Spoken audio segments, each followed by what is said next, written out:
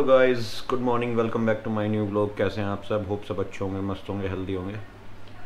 तो आज देखते हैं क्या करेंगे। अभी तो नहाए हैं जल्दी आया है भोले बाबा को। तो बस अब नाश्ता करते हैं नाश्ता करके देखते हैं आगे क्या करेंगे। ब्लॉग कैसे बनाएँगे तो मिलते हैं आपसे थोड़ी देर में।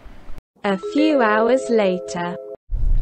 So guys आज फिर मेरठ चल दी है नाश्ता कर लिया था। और अब तो खाना भी कर लिया है। राजमा चावल खाए हैं। नाश्ता करने के बाद व्लॉग नहीं बनाया था, मैं साइड पे चला गया था। अब आके खाना खाया है। तो ये कचहरी का काम बहुत दिनों से रखा हुआ था।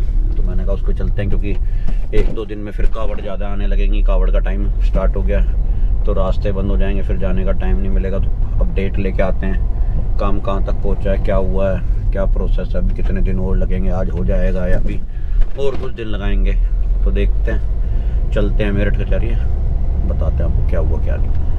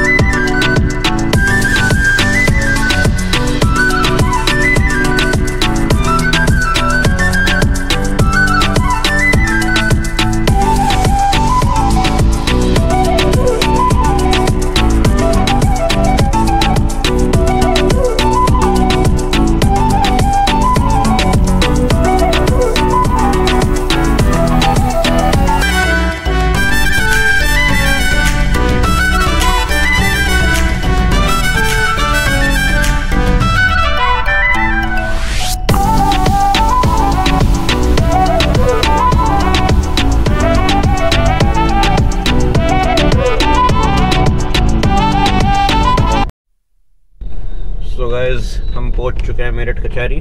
अब देखते हैं आज क्या बोलेंगे भैया फिर से, क्योंकि मैं कई बार से आ रहा हूँ, आपको पहले भी वीडियो में बताया था कि भाई एक छोटा सा काम है जो अटक रहा है, उसकी वजह से मेरे को मेरठ कचहरी बार बार आना पड़ रहा है। तो मैं पिछले हफ़्ते से आया था, तब भी वो काम नहीं हो पाया था तो आज आया हूँ, देखते हैं आज उसकी क्या प्रोग्रेस है, कितना हुआ है। हुआ है अब भी नहीं हुआ, जाके पता चलेगा। तो मिलते हैं अब आपको, मैं आके एक बार अंदर होके आ जाऊँ मिलाऊँ उनसे। फिर आपको बताता हूँ कि हुआ नहीं हुआ. सो गाइज़ हम चल दिए हैं मेरठ से कचहरी से। आज भी हमारा काम नहीं हुआ। आज वो भैया आए नहीं है। हमें अब जाके अंदर ये पता चला है। मेरे को समझ में नहीं आ रहा ये काम होने में कितने दिन लगेंगे। पर मैं अभी अंदर गया आप देख सकते हो कचहरी। ये हमारा पार्क है कचहरी के पास का। तो हम गए। तो जो दूसरे भैया बैठे थे मैंने उनसे पूछा। तो उन्होंने कहा कि वो आज आए नहीं है वो छुट्टी पे है आज। मैंने कब आएँगे? कह रहे, अब तो कल सैटरडे संडे हो जाएगा। मंडे में, अब मंडे में रास्ते बंद हो जाएँगे हमारे उधर। यानी कि हम मेन रोड पे कावड़ का थोड़ा रश हो जाएगा। तो अब आ ही नहीं सकता, यानी पंद्रह तारीख के बाद ही आना पड़ेगा मेरे को जहाँ तक है। यार, बड़ा दिक्कत हो जाती है गवर्नमेंट के कई कामों में। छोटे छोटे काम होते हैं, उसमें बड़ा लंबा लटका देते हैं ये। कुछ कर भी नहीं सकते इसमें इशू भी क्या है?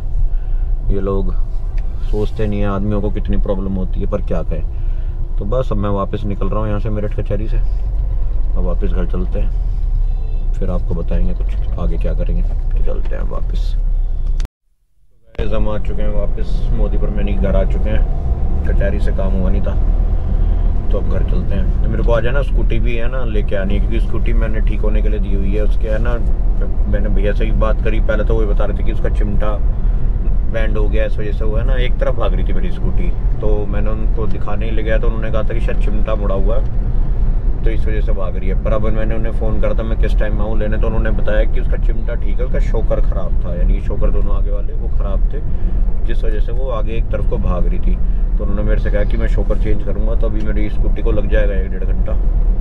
तो स्कूटी भी लानी है एक डेढ़ घंटे बाद तो बस, सब घर पहुँचते हैं, थोड़ी देर बैठते हैं, फिर एक घंटे बाद जाके स्कूटी लेके आते हैं। मिलते हैं आपको तब जब स्कूटी लेके आएँगे। आप देख सकते हो इन प्राणियों को। ये रे तीनों दो सोए हुए हैं। इस आदमी को यानी इस औरत को कभी छोड़ जाओ ये फ़ोन पे ही लगी रहेगी। जाओ जब भी फ़ोन पे लगी रहती है और वापस आओ जब भी फ़ोन पे लगी रहती है आप देख सकते हो। शक्ल देख लो इसकी। हाँ। मेरे को गए हुए एक डेढ़ घंटा हो गया मैं डेढ़ घंटे बाद आया हूँ अब भी है ना फ़ोन पे ही लग रही है ये। तो आप देख सकते हो। मैं वापस आ गया हूँ मेरठ से पर इसका फ़ोन नहीं रखा गया। ये हमारे घर की दूसरी स्टडी हो रही है अब। तो मिलते हैं आपसे थोड़ी देर में। A few moments later. हम निकल चुके हैं मैं गोनू और ये गंजा। इसको छोड़ना ट्यूशन ही है ना फालतू का लटक के आ गया हमारे साथ। हाँ अभी करूँगा तो हम जा रहे हैं यानी कि इसको छोड़ेंगे पहले इसके ट्यूशन। इसके ट्यूशन छोड़ने के बाद मेरे को आ गोनू छोड़ेगा जहाँ से मेरे को स्कूटी लेनी है। स्कूटी ठीक होने के लिए दी हुई है। बस स्कूटी लेके फिर मैं वापस आऊँगा। वही है। अब देखते हैं स्कूटी हुई या नहीं हुई। भैया ने कह तो दी थी मेरे से साढ़े चार बजे तक आ जाना जब मैंने उन्हें फ़ोन करा था। पर हम तो पाँच बजे के बाद जा रहे हैं। तो हो ही गई होगी अब तक। मैं शोकर ख़राब निकला है। पहले उन्होंने मेरे को बताया था कि चिमटा बैंड हो रहा है। पर वो चिमटा बैंड नहीं हुआ था। फिर जब मैंने फ़ोन करके पूछा था उन्होंने बताया भैया ने शोकर नहीं वो गड्ढे में गिर गई होगी तो यानी कि कितने दिन हो रहे हैं पुराने शोकर तो हो गए थे। तो शोकर ख़राब हो गया तो शोकर चेंज करा लिया है। बाकी एक टायर चेंज कराया था तो करा लिया। तो मिलते हैं आपसे लेके स्कूटी को। तो हमारा पोपट हो गया। हमने भैया को फ़ोन करा जिनको स्कूटी दी हुई थी अभी तो हमारा शोकर भी नहीं डाला ना टायर डला। तो अब वो मेरे से बोल रहे हैं कि मैं स्कूटी घर तक छुड़वा दूँगा आप अभी रहने दे दो आने को अभी टाइम लगेगा क्योंकि वो शोकर लेने गए हुए हैं अभी। तो बस तो आरब को छोड़ के मैं गोनू को घर छोड़ के आऊँगा इसकी स्कूटी लेके फिर साइड पे जाऊँगा। अब क्या करें? जब नहीं हुई स्कूटी तो यही कर सकते हैं। तो बस इसे छोड़ के मिलते हैं। मैं पहले आरब को छोड़ते हैं हम दोनों फिर मैं गोनू को छोड़ता हूँ और फिर चलते हैं वापस साइड पर हाँ बता। गेट पर मुझे तार दो कैमरा मैं ही रख दूँगा। हाँ ये सही है। ठीक है ठीक है इसका आइडिया ये भी सही है। तो अब मिलेंगे आपसे थोड़ी देर बाद। सो गए स्कूटी अब तक नहीं आई। अभी टाइम लगेगा, भैया यूँ कह रहे हैं कि घर ही छोड़ दूँगा। अभी तक आठ बज चुके हैं, अब तक स्कूटी आई नहीं है। तो इस वजह से हम अब जब स्कूटी आएगी, उस टाइम तक सोचा था कि यानी कि आपको दिखाएँगे, भैया छोड़ दें तो जब व्लॉग का एंड करेंगे, पर अब बहुत लेट हो चुका है।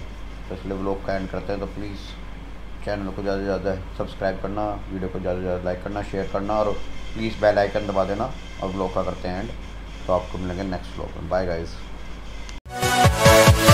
Yeah.